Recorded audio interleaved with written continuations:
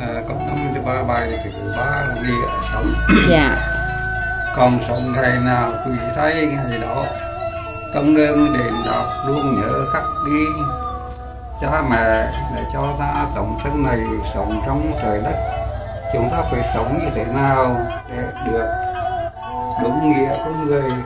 Mong gọi người đời mãi miệt chỉ phi chúc vọng đến danh dự của dân tộc. Dạ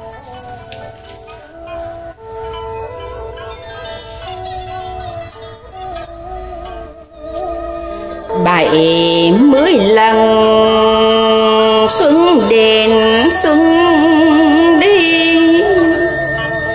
Gian nan khổ cực, nào có ngài chi? Chỉ ngài làm người, không được đúng nghĩa. Uổng công cha mẹ, đâu chẳng ích gì con sống ngày nào, quý thấy ngày đó. Công ơn đền đáp luôn nhớ khắc ghi. Mong được xứng đáng làm người hữu ích để khỏi người đời. Mãi mỉa thì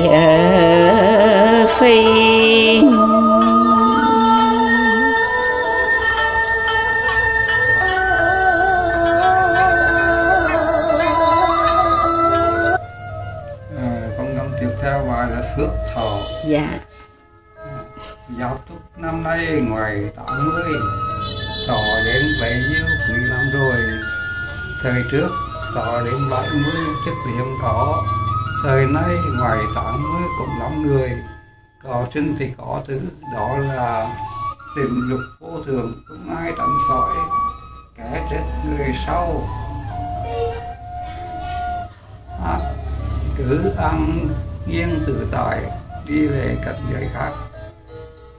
Dạ.